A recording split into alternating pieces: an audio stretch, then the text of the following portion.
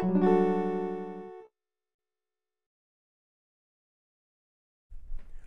guys, how you doing? I'm Cuban Miss Prime, and in this video, I bought, um, I just ordered the the Galaxy Watch 4. Now I had, I, ha I have the my um my Act Active 2, uh, Galaxy Act Active 2 for a, a, year or two, for two years. It's been a solid phone. Uh, the performance is amazing. The battery life, I get like almost three days battery life. But the bad thing about Tizen is that it's a closed OS and it's not open which is good in a way, and it doesn't have not that much uh, uh, app support from developers. Uh, that means you don't get no Google services, you don't get no maps, you don't get no app support on it. With Android Wear, I mean, I, I used Android Wear before, and while it was good, the bad thing about Android Wear was the system on a chip is old.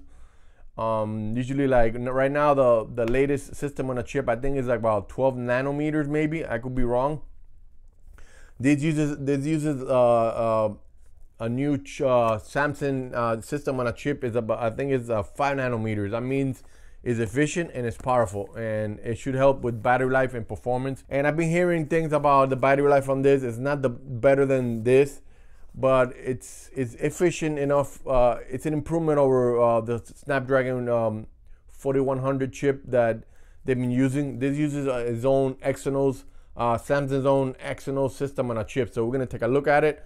I got it from Costco, so I got 90 days. If I don't like it, I can return it. So we're gonna take a look at it. We're gonna unbox it for a second and compare it to uh, this watch that I have, and see how, how what the difference is in um, size and build quality.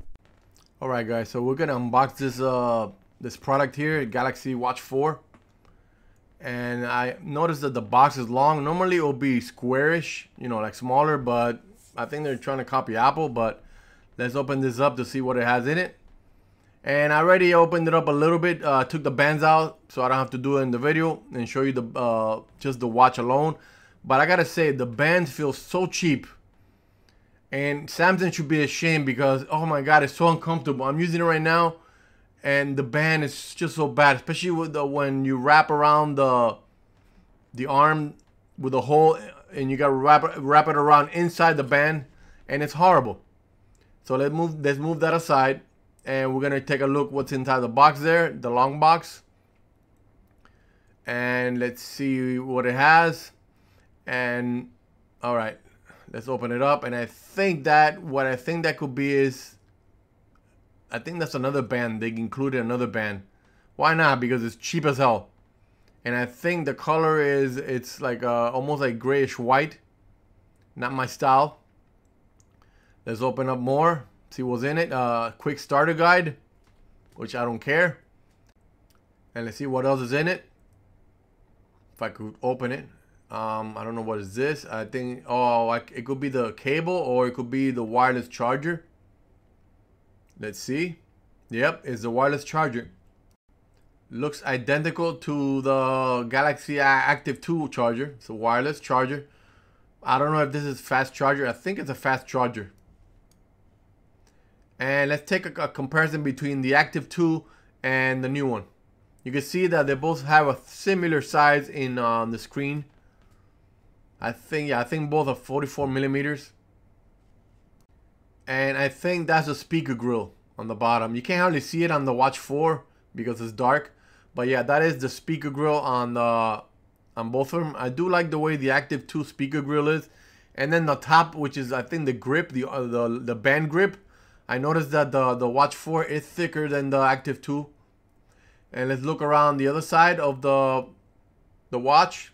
If I could steady the damn camera right. And yeah, um, I do like, like I said, I do like the Active 2 speaker better. And as we go around, you have the two buns. And I kind of like the Watch 4 buns more, you know what I mean? I don't know why they feel bigger and, and more. Uh, it, it's not too, uh, you know, the buns are not too hard to press.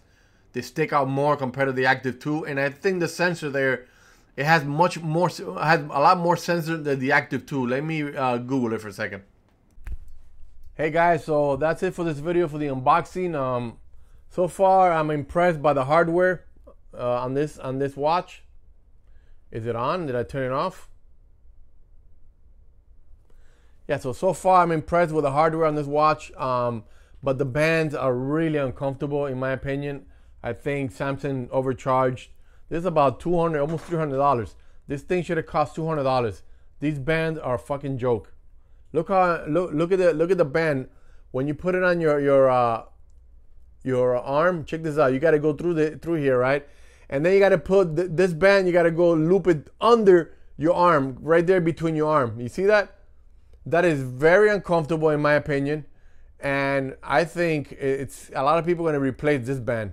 So, um, thanks for watching, guys. The unboxing. Um, I'm going to be uh, installing uh, Android Wear app and syncing uh, my uh, my information into the watch and use it. as a matter of fact, I'm going to use it tomorrow at work and see how much battery life I get compared to my active. Usually on my active, when I come back from work, fresh battery for 100%, it'll be like about 75%. So let's see how well this watch performs in everyday usage. So yeah, thanks for watching guys, and I'll see you in the next video. Take care, bye-bye.